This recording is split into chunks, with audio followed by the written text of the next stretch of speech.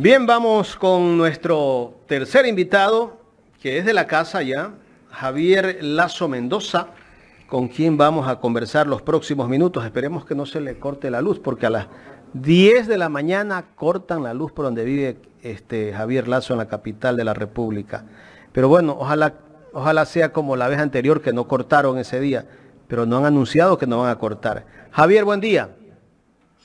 Buen día, Jaime. Buen día, Gustavo. Felicitaciones, Gustavo. Felicitaciones, Gustavo. Ah, ya tenemos un máster en la casa, ¿no? Siguiendo eh, sus pasos. Un, máster más en la casa. La luz no la cortan. la luz la cortan porque la cortan hoy día eh, a las 10 de la mañana y la están cortando en punto a las 10 de la mañana. Así que dos cucharadas al caldo y manos a la presa Así es, Javier, nueva temporada de Palabra Suelta. Empiezas esta semana, tengo entendido que el viernes es el programa estreno, si no pasa nada, bueno, a veces suele pasar de que el invitado cancela de última hora este, la entrevista, pero esperemos que no vaya a pasar eso. Nueva temporada en Ecuador en directo. Y quiero poner, no, estamos construyendo todavía la línea gráfica, quiero poner en pantalla la, línea gráfica que mostró ayer el diseñador, pero que no es la definitiva. O sea, se está construyendo la, línea gráfica de palabra suelta. Sí, sí, ayer estuvimos hablando contigo. Eh, yo le pasé al compañero diseñador, no me acuerdo ahorita su nombre, tú me puedes ayudar con eso, Rodolfo. Eh, la línea gráfica, la tipografía original de palabra suelta que ya lo he contado, surge en una revista cultural en la década de los 80, eh, vinculada a la editorial El Conejo, acá en Quito. Y, y, claro, a mí me parece que recuperar esa, esa tipografía de una revista literaria de la década de los 80 como para hacer un homenaje al origen del nombre palabra suelta, pero la cuestión está trabajándose. Yo voy a hacer unos cambios también acá en mi casa, en el estudio, que vaya más con los colores de Ecuador en directo, eso lo hemos conversado. Estos cuadros van a desaparecer, no queremos que nada distraiga eh, lo que vamos a conversar. Me voy a proveer de un, micrófono que, que tenga un pedestal, eh, y que se vea el pedestal y que tenga un capuchón eh, que diga Ecuador eh, en directo, palabras sueltas. En fin, estamos haciendo cosas porque yo también estoy muy, muy contento de iniciar esta nueva temporada de Palabras Sueltas con, con ustedes. así que sí, está confirmada la entrevista y podemos empezar a anunciarlos. ¿Te parece bien? Es con Henry Kronfle, el presidente de la Asamblea. La, voy a hacer en el despacho de él, ahí en la Asamblea. Eh, no va a ser en vivo, lamentablemente no hay condiciones, eh, pero hasta este momento la asistente, que se llama Michelle Álvarez, me ha confirmado que a las 5 de la tarde de esta tarde me espera el presidente de la Asamblea voy con un compañero camarógrafo que nos va a asistir cuando es presencial el programa. Él se llama Javier Bravo, tocayo mío, y con él voy, ¿no? Voy con tres cámaras, luces, micrófonos corbateros inalámbricos, en fin, vamos a ver, ¿no? Que todo salga, que todo salga bien. Eh, tú la vas a recibir probablemente al fin de la, de la noche, no, no digo 12 de la noche, pero en la noche, el programa ya editado para que eh, decidas a qué hora de la mañana lo pasas. Pero mañana, mañana ciertamente, mañana viernes, ya tren, no, mañana ya es uno. Uno de diciembre. Ya mañana es, mañana es uno de diciembre, ya qué bestialidad, ¿no? Ambiente navideño. horrible ambiente navideño. Tengo nietos y debería estar feliz por ellos, ¿no? Pero ¿Y fiestas de por mí, no, son dos cosas, son dos fiestas en las que no me enfiesto. Se inaugura el metro mañana. Sí, eso sí me gusta. Y, chuta, quisiera, no la tengo aquí en mi billetera, pero ayer saqué la, la tarjeta del metro. ya la saqué. Ayer hice cola, eh, me tomó como una media hora, 45 minutos, porque la gente está entusiasmada con la cuestión del metro y ya tengo mi tarjeta del metro para poder usar el metro. Sobre todo pienso yo usarlo para ir al centro de Quito. Lo que me puede tomar ahorita mismo 45 minutos en el metro me va a tomar 15 minutos máximo. Y, constantemente, porque no dependerá de que cierren una vía en el centro histórico, porque va a pasar un personaje importante del gobierno con, con esas batidoras, abusando de sus pequeños poderes tan transitorios, pero siempre se quieren hacer notar, ¿no? Así que estuve ayer en esos menesteres, eh, confirmo que hoy hacemos el programa con, con Henry Kronfle y que mañana estará al aire, con eso me inauguro en Ecuador en directo, sinceramente, no es un decir, tengo el privilegio de contar con vuestra amistad y eso eh, facilita las cosas, ¿no? También tengo, puedo contarle a la gente que en estos primeros pasos que hemos venido dando, yo he encontrado en Ecuador en directo un comportamiento muy, muy profesional y muy serio, ¿no? Y eso me alegra mucho, ¿no? Nos vamos a entender, creo que sin, sin problemas. ¿Tendremos discrepancias? Por supuesto que sí, porque la política de comunicación eh, admite eso, ¿no? Eh, podemos discrepar, pero lo vamos a hacer de manera inteligente, ¿no? Y muy respetuosa y muy democrática. Yo le escuchaba a, David, eh, que también es, es mi amigo, sociólogo. Oye, tú hacías referencia, eh, no sé si fue Gustavo o tú, Jaime, a la entrevista que dio la vicepresidenta Abad a Del Rincón en CNN. Sí Oye, en esa entrevista esta señora es todavía más radical y más absurda, porque dice que todo el desastre de Ecuador de estos días empieza en 2008, con la constitución de Montecristi. Eso le dice a Del Rincón. Y claro, Del Rincón, que en algún momento, ahí está, ahí la has puesto, que en algún momento eh, a, algún funcionario del gobierno de Lazo le dijo, oiga, ya basta de seguir acusando a Correa, ustedes son el gobierno.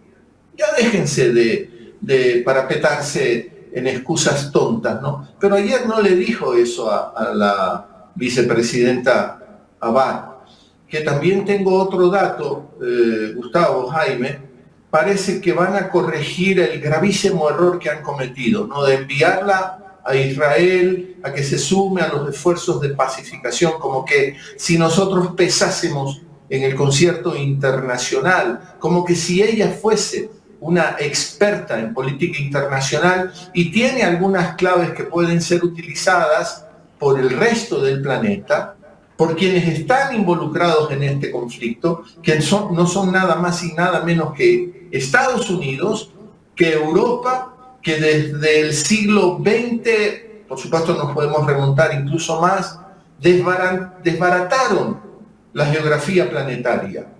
Porque con la caída del imperio otomano ellos se repartieron esa región del planeta e hicieron lo que les pareció. Y ahora tenemos una experta, la vicepresidenta Verónica Abad, que yo veía, perdóname decirlo, en estos medios podemos ser leales, incluso con los colegas que tienen otros noticieros.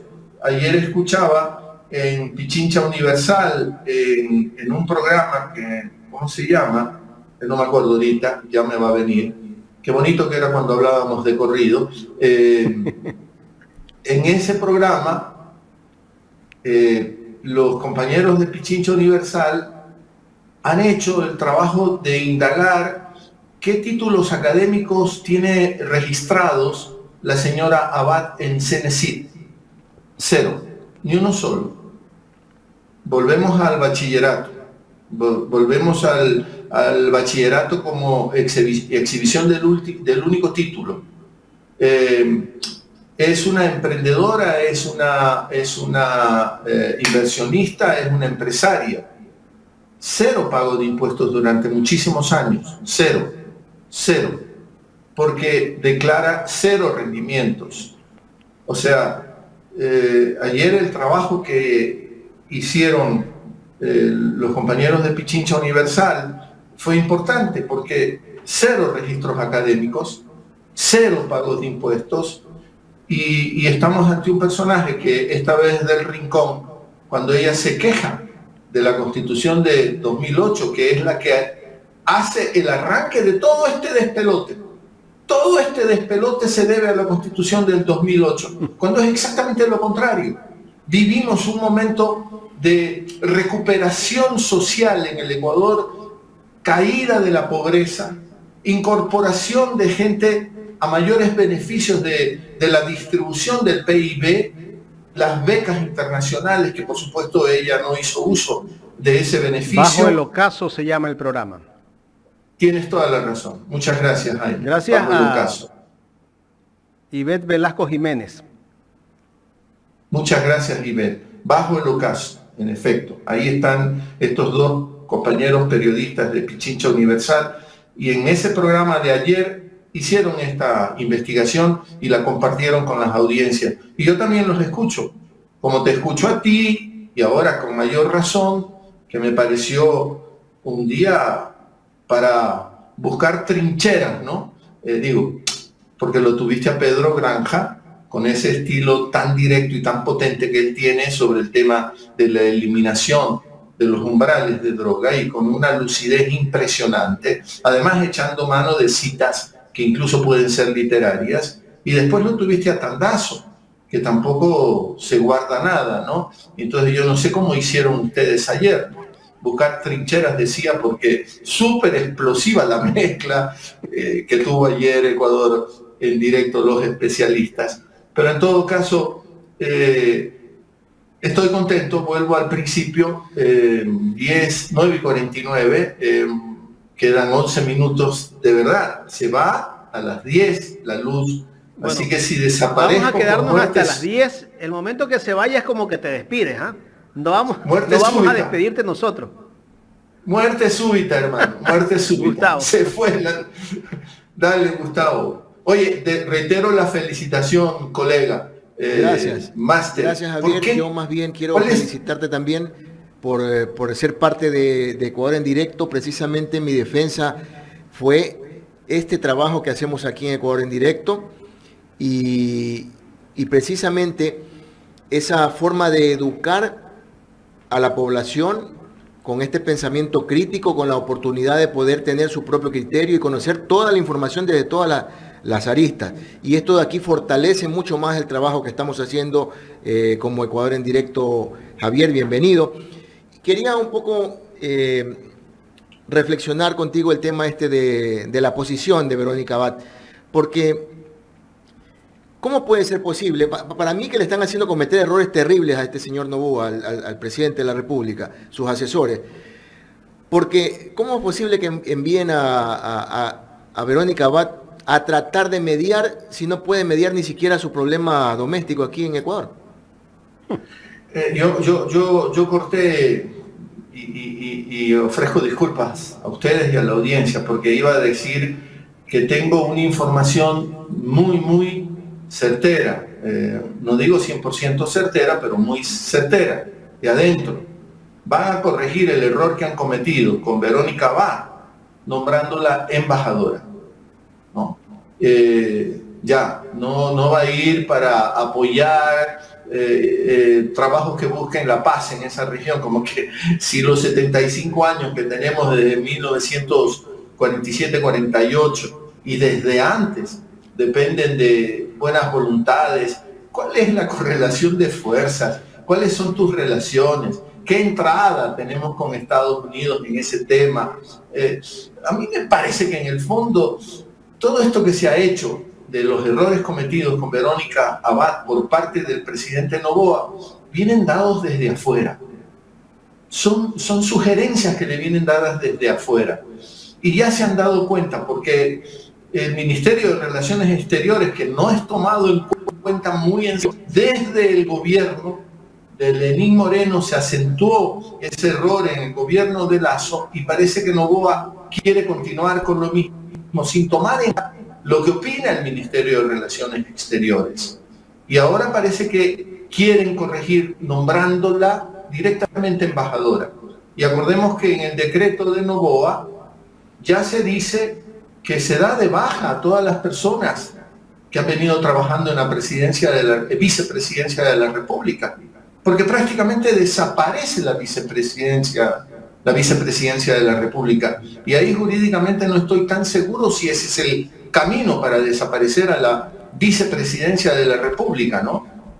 Y, en ese, y en ese eh, traspié que se puede ver, ayer lo escuchaba el doctor Tandazo decir que se han cometido dos errores más, el tema de la eliminación de la tabla eh, de consumo, que constitucionalmente exige que, aparezcan esos umbrales para poder identificar eh, básicamente eso. Y, el otro tema eh, que también llama mucho la atención, seguir condonando las deudas de las grandes empresas cuando hay un déficit terrible en este país en el que ya mismo él mismo se va a ver con la soga al cuello ahora en diciembre. Es que el problema, lo que no quieren entender porque no les conviene, porque hay relaciones eh, colusorias, ¿no? cuando, cuando prevalecen los intereses de esas relaciones y perjudicas a un tercero, y este tercero somos nosotros, la sociedad ecuatoriana entera, eh, lo que no quieren entender que el problema no es tributario, el problema es económico, profundamente económico en, el Ecuador. Y mientras no acometan por ahí las soluciones, vamos a seguir de tumbo en tumbo, ¿no? Y entonces, eh, no sé, yo también como David Chávez lo dijo al final de esta conversación con ustedes, no hay buenas señales y es una pena no es que queremos que no haya buenas señales. El, presidente Novoa está en campaña, eso también es otra verdad. Una demostración de estar en campaña es lo que ha hecho con Guayaquil. Cuando le quita al municipio de Guayaquil la atribución para resolver el problema del quinto puente y dice lo resuelvo yo, es que quiere resolverlo él para exhibirlo como logros en su campaña. No va a poder exhibir el puente ya hecho. Porque ese, eh, una obra como esa, bien lo sabemos, demanda estudios previos. Y no haces estudios previos de una obra como esa, que será importantísima para Guayaquil, va a descongestionar la llamada vía perimetral, que ya no tiene nada de perimetral, va a descongestionar la propia vía a la costa, porque va a conectar directamente el puerto con las salidas que tiene que tener. Eh, eso demanda meses de estudio, muchos meses de estudio. El municipio de Guayaquil calculaba que le iba a tomar 10 meses los estudios para eh, finalmente diseñar cómo va a ser el quinto puente.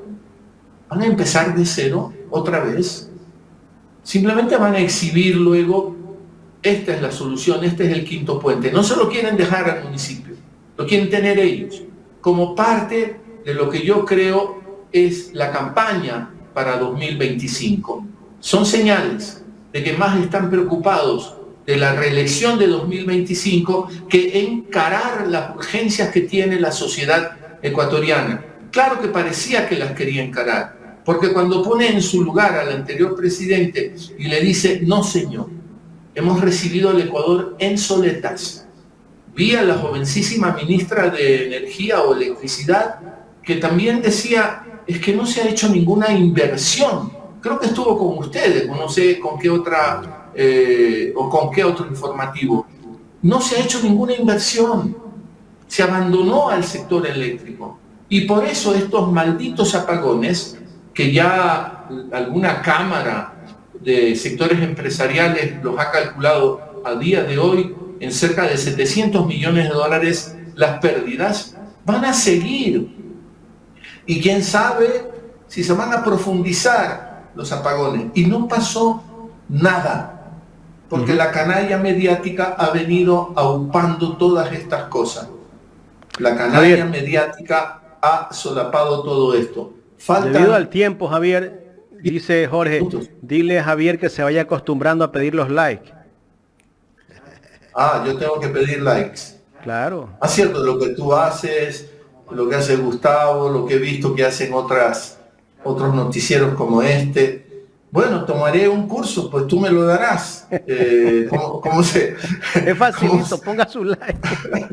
ponga, pónganos su, su, like. Qué malo que Jorge, ¿no? Ya me quiere poner en esas, en esas lógicas, ¿no? Eh, que son un poco perturbadoras desde mi punto de vista. Jorge dice hay que eh, practicar. Rápidamente, Javier, déjame agradecerle al economista Víctor Andrade, que te da la bienvenida con el programa Palabra Suelta Ecuador en directo.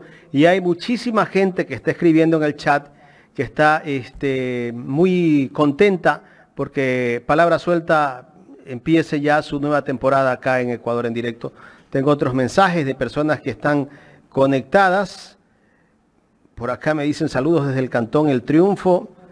Comercial Narea. Bueno, Comercial Narea podría ser hasta un auspiciante de Ecuador en directo. Un abrazo, gracias por estar conectados.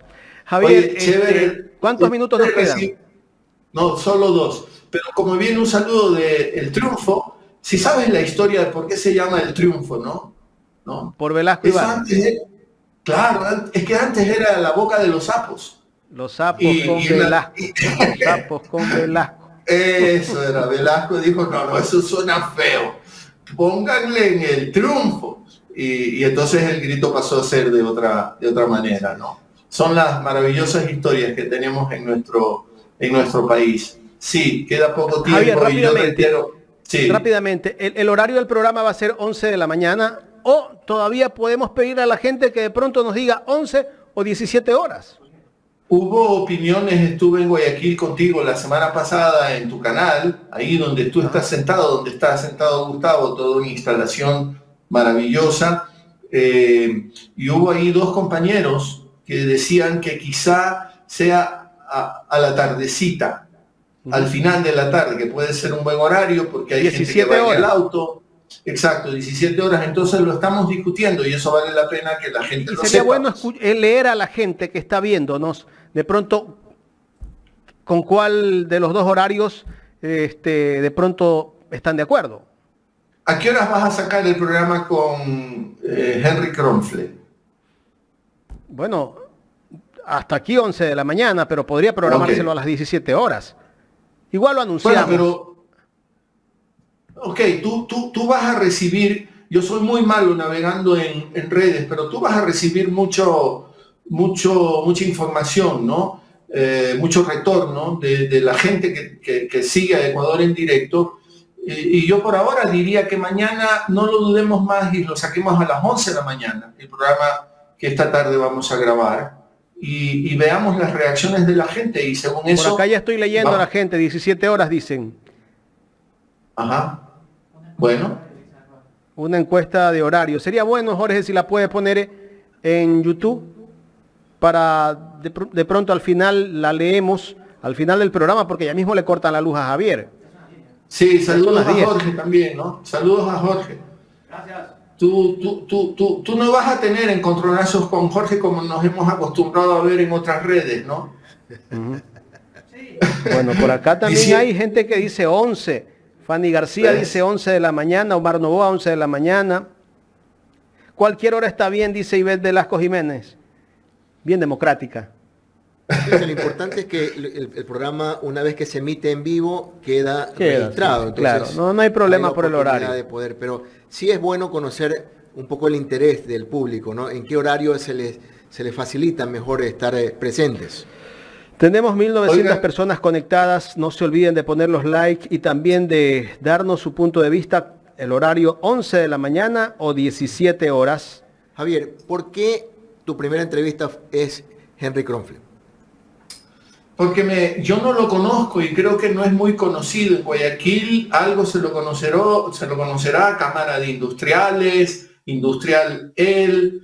Eh, eh, yo no lo conozco y me parece, me parece, Gustavo, que de las pocas cosas que se dijeron en la, en la posesión, el, dentro de, lo poco que se dijo, lo que alcanzó a decir Henry Kronfle era como lo más lúcido, ¿no?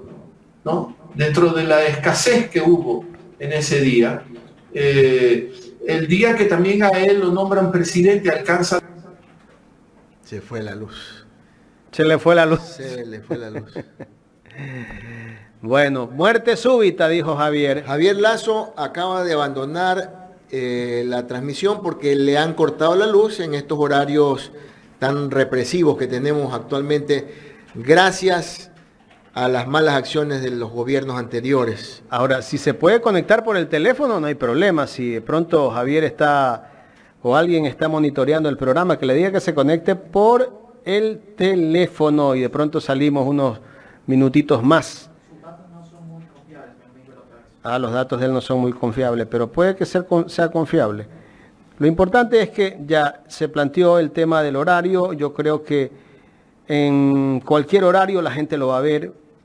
Alguien preguntaba por ahí si, si Javier es hermano de Guillermo. Sí. Es hermano de Guillermo, pero él es buena gente.